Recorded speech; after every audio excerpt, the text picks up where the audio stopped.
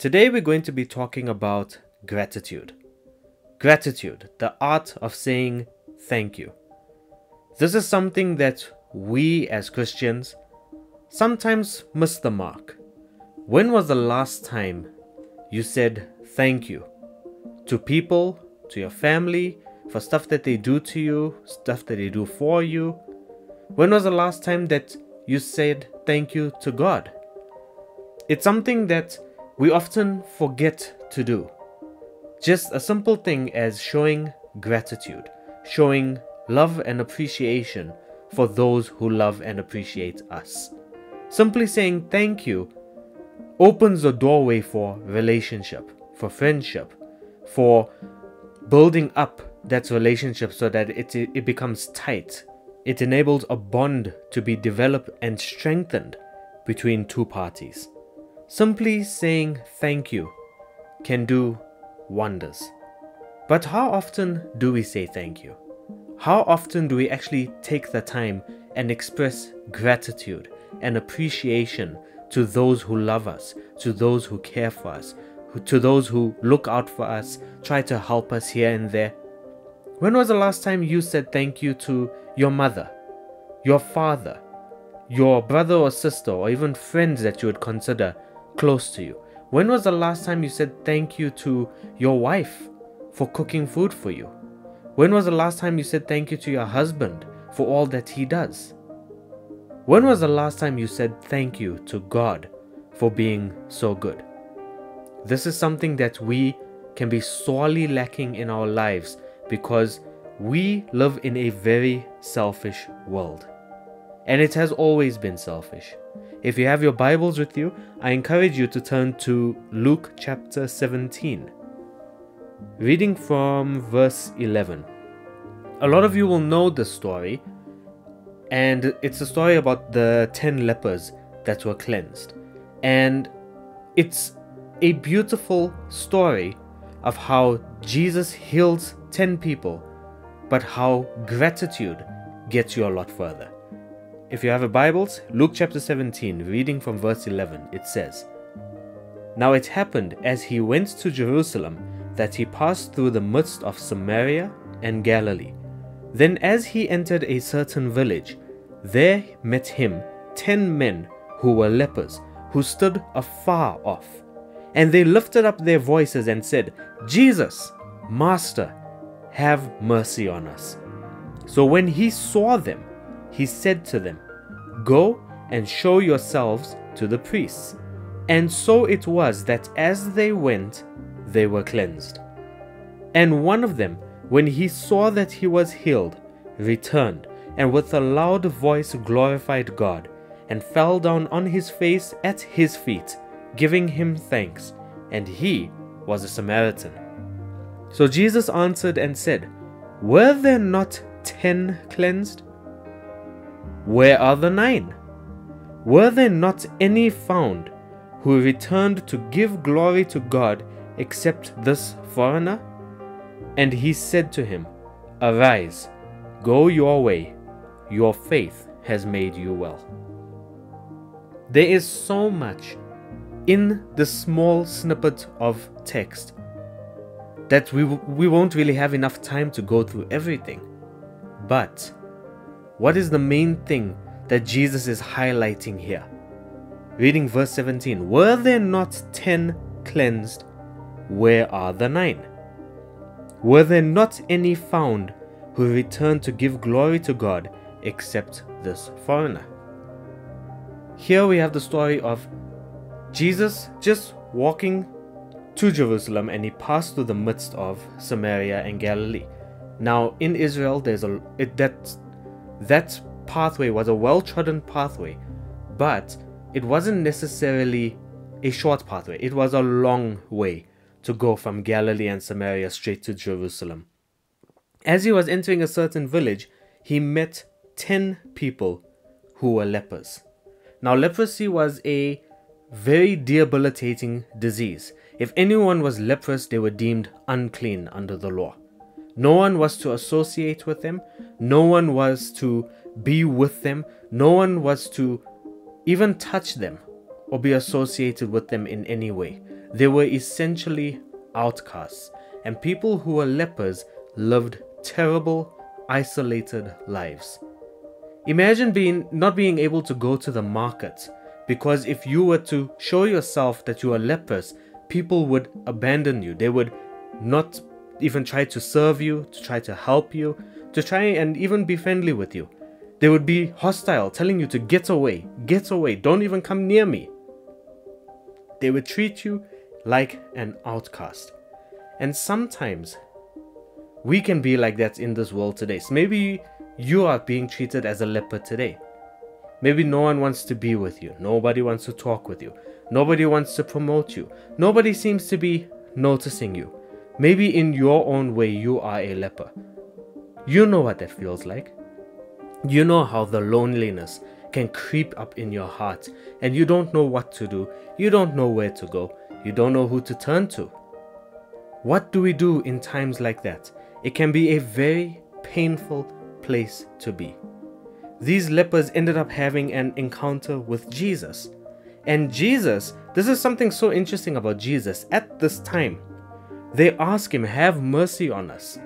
Essentially, they're asking Jesus for healing, to be finally free of the thing that has been plaguing them, the thing that has been holding them back. And Jesus, he didn't even touch them. I want you to look at this. In verse 14, he says, When he saw them, he said to them, Go and show yourselves to the priest. So imagine, they simply went on the word of the Lord. They simply went on whatever Jesus said. And it was so, this is what the Bible says, and it was so that as they went, they were cleansed. So already they had faith that whatever Jesus says will be done. Do you have that kind of faith in God? That whatever He has said, it shall be done? When the Bible says that by your stripes you are healed, do you have faith that it is as it as he says it is? When the Bible says that he shall work all things according to your good because you love God and because you are called according to his purpose, do you really believe that? Do you believe as he says? When the Bible says that you are chosen, that you are God's masterpiece, do you really believe that? Do you believe the word of the Lord? These men clearly did, because Jesus simply said, Go and show yourselves to the priest, which was what was customary at the time. The priest would declare you clean or unclean, especially when you had leprosy. And if you had leprosy and were healed from leprosy, the priest would declare you clean. Now, that's why Jesus says, Go and show yourselves to the priests. They had the faith that as they went on the word of the Lord, that they would be healed. And it was so. God always sticks to his word. We serve a God who never backs down. He is not a man that he should lie, nor a son of man that he should repent. Whatever God says goes. God cannot lie. I will repeat that again. God cannot lie.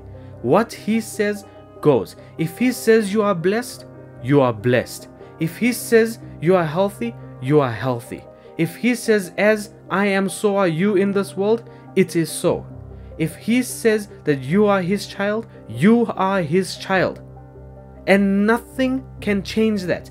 Absolutely nothing can change that. No devil in hell, no family member, no boss that might be trying to push you down. If God says you are blessed and you are His, there is no one who can change that reality. What God has pronounced on your life, blessing instead of cursing, favor, it shall come to pass. That is the God that we serve. Whatever He says goes, and nobody can change that. Now, a lot of you know that God has done things in your life. Look back in your life.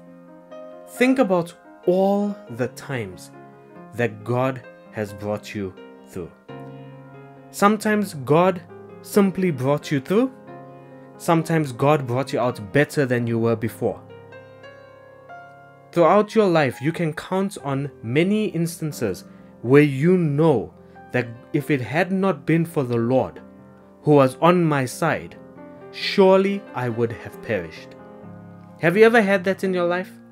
Can you think of a moment or a situation in your life where you didn't know if you were gonna make it? You didn't know if you were gonna be able to pay that rent. You didn't know if you were gonna get that job. You didn't know if your children were gonna turn out right.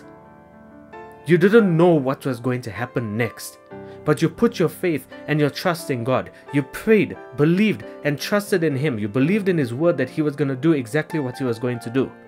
And then God does a miracle. God brings you through. He opens the door, He closes other doors. You got the job, your children turned out fine, things worked out for you. What do you do after that? That's the thing. What do you do after that. In this case here with the ten lepers, as it was so, as they went, they were cleansed, and one of them, when he saw that he was healed, returned and with a loud voice glorified God. When God did something for you, how many of you returned to Jesus to give glory to Him? Isn't that a question? How many of you returned back to Jesus to give glory to Him?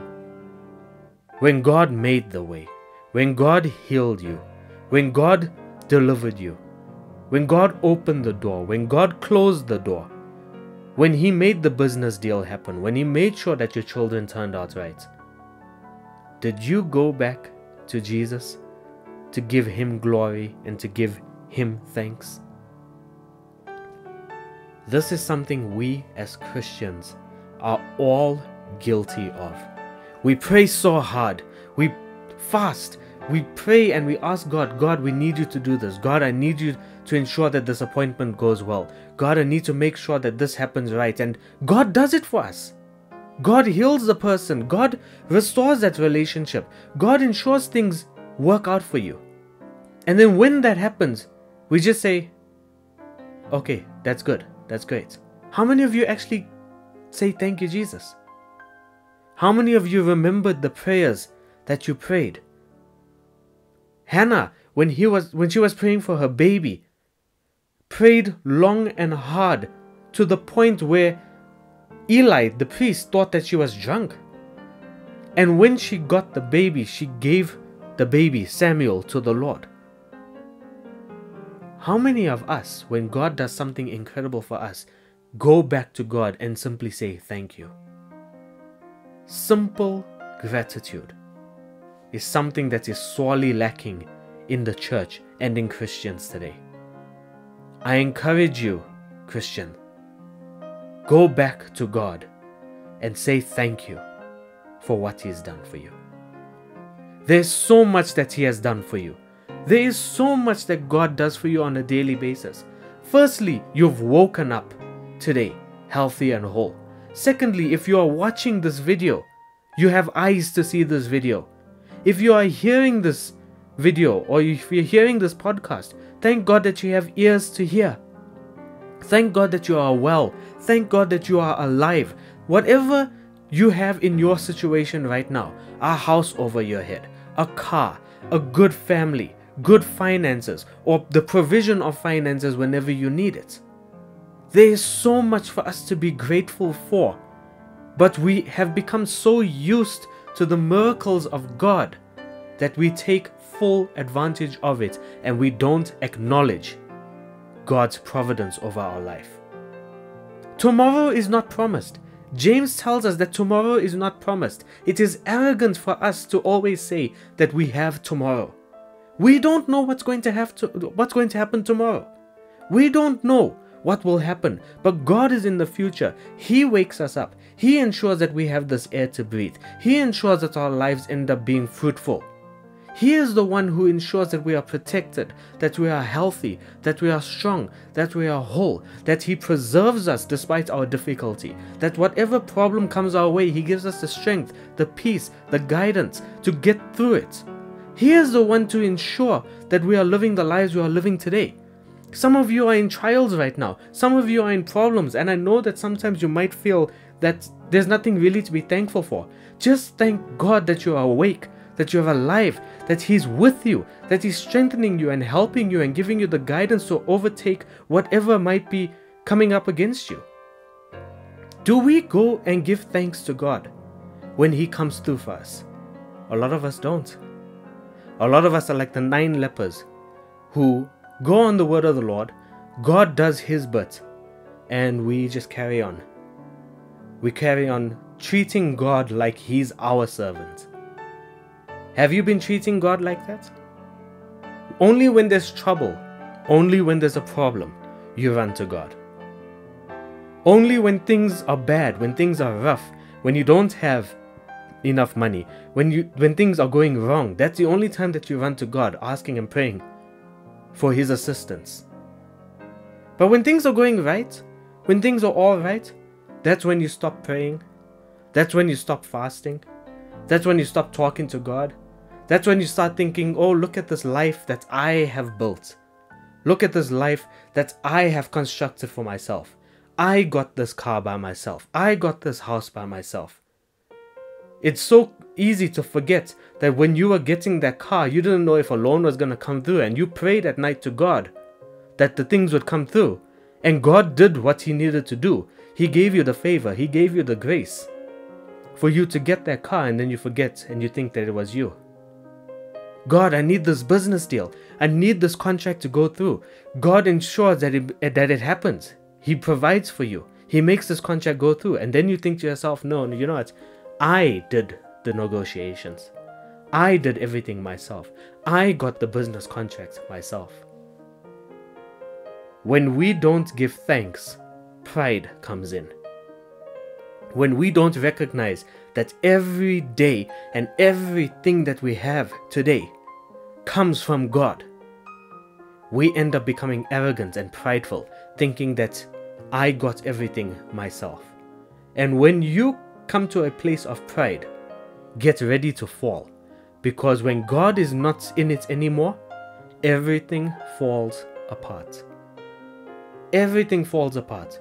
The moment you forget God, the moment you think that you did everything yourself, the moment you think that God's providence was actually your hands, that's when you will fall. That's when things will start going wrong. That's when your complacency will end up being your downfall. And when things go bad, when things get wrong, when things aren't working out for you, that's when all of a sudden you remember God. You remember God and you run back to Him and you think that, you know what, I need to get back to God. Why is it that it is only in bad times that we think about God? Why is it that it's only in the bad times when we run to God, when we humble ourselves at His feet, when we prostrate ourselves towards God, asking God, help us? And even if you don't help me, just be with me, support me. Your presence is enough.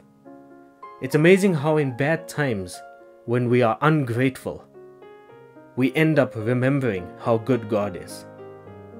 Sometimes that's why God allows trouble to come into your life because you need to get your head straight. You need to remember that it's because of God that you have everything. It is because of God that you are alive today. It is because of God that you have everything that you have today and there is so much to be grateful for. You just have gotten so used to it that you've become ungrateful for it, and you will only realize that you should have been grateful for it when it's lost, when it's gone. Many of you think of loved ones, loved ones that have passed on. Maybe it's your parents, your grandparents, friends, even pets too. When they pass on, that's when you think, you know what, maybe I should have treated them better. Maybe I should have talked to them more often. Maybe I should have said thank you to them for what they've done. Maybe I should have said I love you more often. It is only in the times when people or things are gone that we end up realizing that we've taken advantage of it, that we weren't really grateful for it. Let us not get to that point. Let us be like the one leper who saw that when God moved on his behalf, he returned and with a loud voice glorified God, fell down on his face and feet, and gave God thanks. Let us be like that. When God comes through for us, the first thing we need to do is say, Thank you, Jesus. Thank you, God. I know that was you. At the very first moment where you can, you give praise, you give glory to God. You give what is due to Him because it's only because of God we are alive.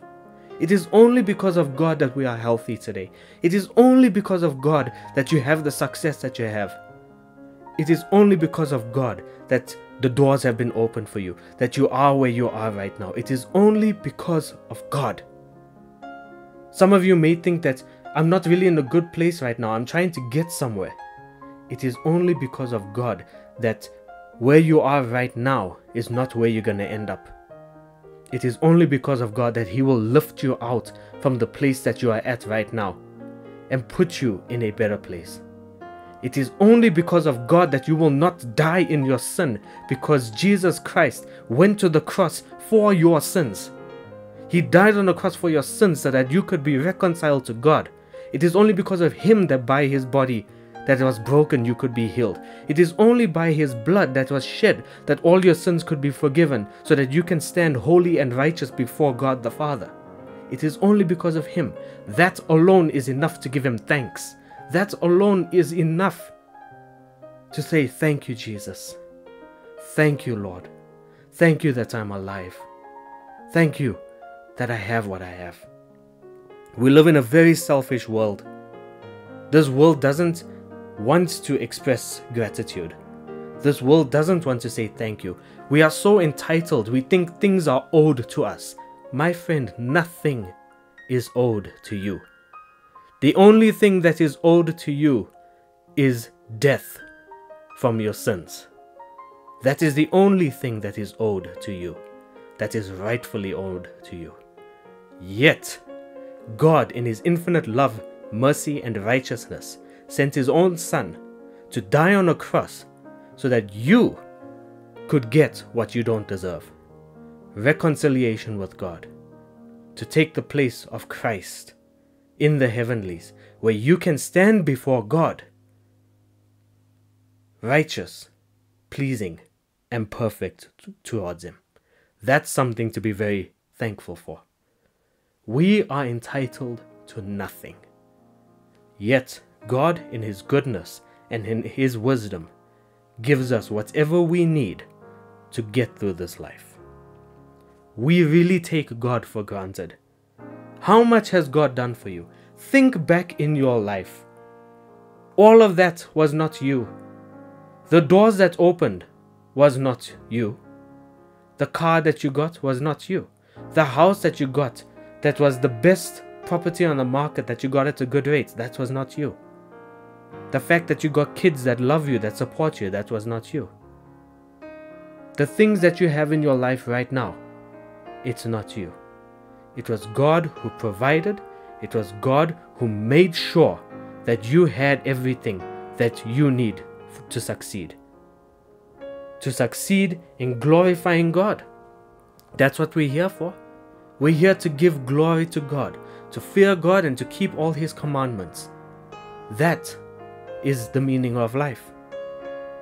How much we take God for granted. He's protecting us, He's preserving us, we don't see the accidents that God has saved us from. We don't see the potential dangerous situations that God saves us from. God does a lot for us, and we need to have an attitude of gratitude, thanking God for everything that He does for us that we know, even the stuff that we don't know. One day when we die and we go to heaven, we might see how God protected us from so many things that we didn't even see. It is over there that we will probably be most grateful. But let's start now. Enter his gates with thanksgiving. Enter into his courts with praise. Give thanks to God. Because when we give thanks to God, we realize two things. One, I am not in control. But two, He is in control. When we realize we are not in control, it humbles us. It humbles us and it makes sure that we don't let any root of pride come into our hearts. Because we realize that everything I have today is because of God and God alone. Whatever He has given me, He can take it away very easily. But everything I have right now, I recognize comes from God, and I will give Him thanks and I will give Him praise for it. The most amazing thing about giving thanks is we recognize that God is in control and that He is good. He is so good. When we see what God has been doing for us, when we really open our eyes and we see how God has blessed us in our own environments, in our own spheres of life, we can see how God has blessed us. We recognize that He is in control. We recognize that He is the one protecting us. And we recognize that truly God is on our side. We really need to learn to say thank you more often.